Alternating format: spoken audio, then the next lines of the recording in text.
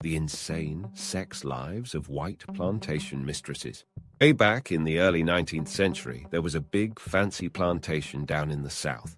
But what made this plantation special was the lady in charge. She was a real powerhouse, the queen bee of the place. This lady had a knack for bossing everyone around, especially those poor enslaved folks working the fields. She was like the boss of all bosses, the ultimate supervisor. Nobody dared to cross her because she had a whip-smart authority about her. But here's the catch. This plantation was a place filled with sadness and suffering. The lady, despite her power, didn't use it for good. She used it to make life miserable for those enslaved people. It was like living in a never-ending nightmare. Lonely Mistress's Date, 1820. In the steamy world of southern plantations, being a white plantation mistress was like being a bored cat in a room full of mice. Picture this. It's 1820, and our mistresses are lounging around, sipping sweet tea and fanning themselves like their lives depended on it. Spoiler alert, they kinda did. Now, these mistresses might have had big fancy houses and dresses that could probably house a small family, but guess what? They were bored out of their minds. See, they were stuck in these big, beautiful houses. But what good is a mansion when you're as lonely as a cucumber at a fruit party? You see, their husbands were off doing who knows what, probably counting their cotton bales or something and that left the mistresses twiddling their thumbs, wondering what incarnation to do with themselves.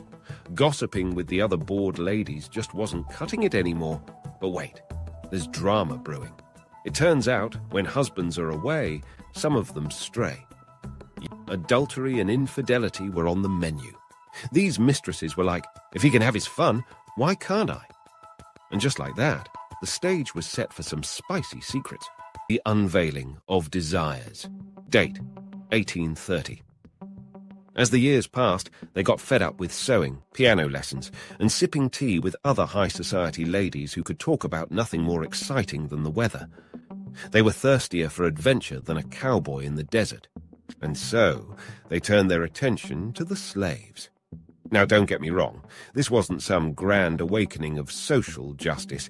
No, no, it was more like they discovered a forbidden fruit tree in their backyard and couldn't resist taking a juicy bite. These mistresses started to explore their own desires, desires they didn't dare whisper in polite company. It was like a secret club, but instead of a secret handshake, they had secret rendezvous with the slaves. The tension built like a balloon being filled with helium, and you just knew it was going to pop. Harriet Jacobs, one brave woman who'd been through it all, gave us an insider's peek into these secrets. She told us about the hidden world where these desires simmered just below the surface. Picture it a grand plantation house with beautiful but frustrated women, and a group of slaves working tirelessly under their watchful eyes. You could cut the tension with a butter knife. But hold on to your bonnets, because this is just the beginning of a story that's about to get hotter than a skillet sizzling with bacon. The Forbidden Affairs date, 1835. Love, secrets, and the big plantation oopsie. Here we are, smack dab in the middle of the 1830s, and things on the southern plantation are getting juicier than a ripe Georgia peach. We're about to spill the sweet tea on some seriously forbidden affairs, y'all. Picture this a steamy, sultry afternoon, the sun beating down on the cotton fields, and a group of plantation mistresses who are just plain tired of sipping mint juleps and pretending to be ladies. These women, bored out of their bonnets and yearning for some excitement, have found themselves in a bit of a romantic pickle. Now, these white mistresses have their eyes on something they shouldn't their dark skinned slaves. Yep, you heard it right. There's some hanky panky going on behind the magnolia bushes that would make Scarlett O'Hara blush like a beet.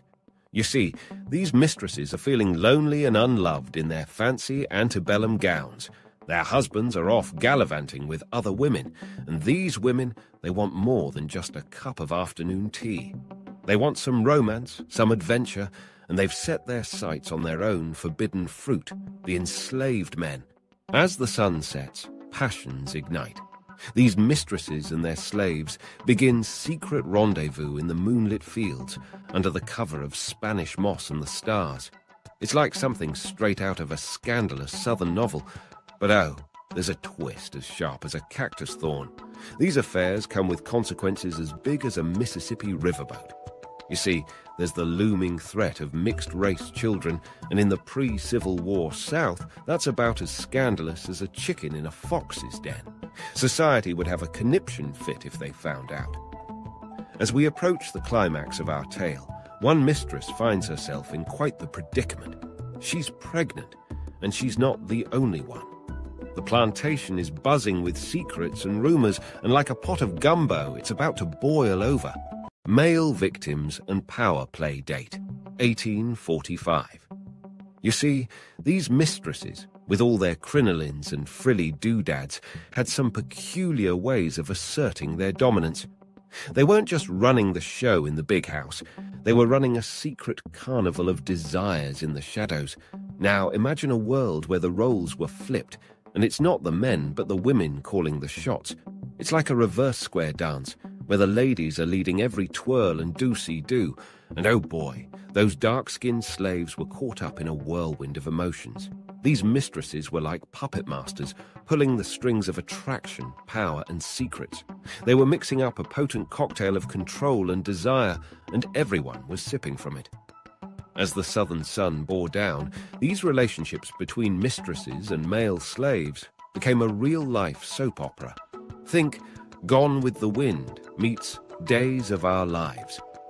There were stolen glances, hushed whispers, and clandestine rendezvous in the cotton fields. And let's not forget the passionate confessions under moonlit magnolia trees. The mistresses had the power, and they knew it. But hold your horses, dear readers, because this power play came with its own set of complications. There was the constant fear of discovery, the ever-present threat of societal consequences, and the looming spectre of mixed-race children. It was like trying to balance a stack of hay on a pitchfork during a hurricane. Now, just when you thought this story couldn't get any wilder, here's the kicker. One of these mistresses ended up pregnant. Yep, you read that right a twist of fate that sent shockwaves through the plantation like a lightning strike. Can you imagine the gossip around the washboards and corn husks?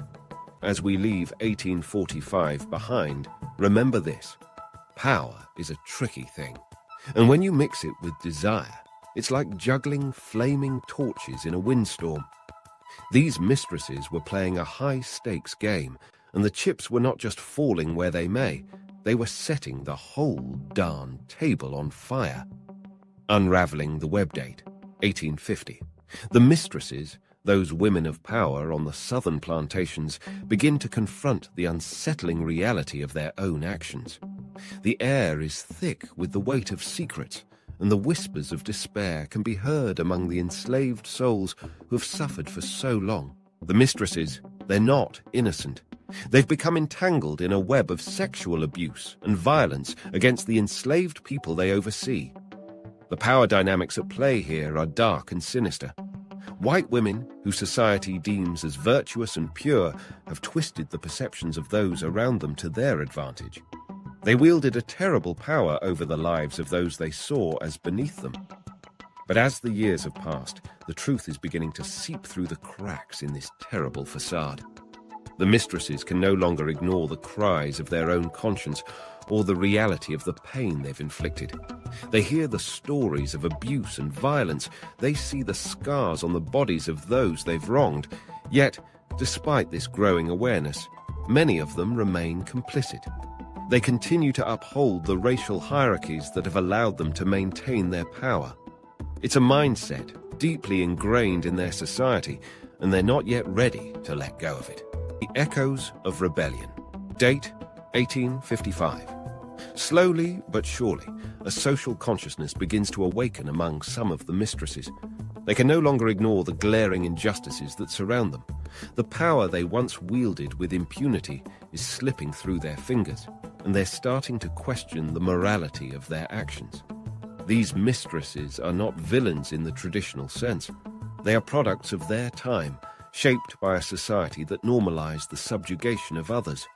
But as history marches forward, they find themselves at a crossroads. They must decide whether to cling to the old ways or to embrace change. The tension is palpable as historical events unfold, pushing the mistresses further towards the precipice of change. They can feel the ground shifting beneath them, and they know that they can no longer remain passive observers in this unfolding drama. And just like that, that's it from this video. Don't forget to like and subscribe. See you in the next one.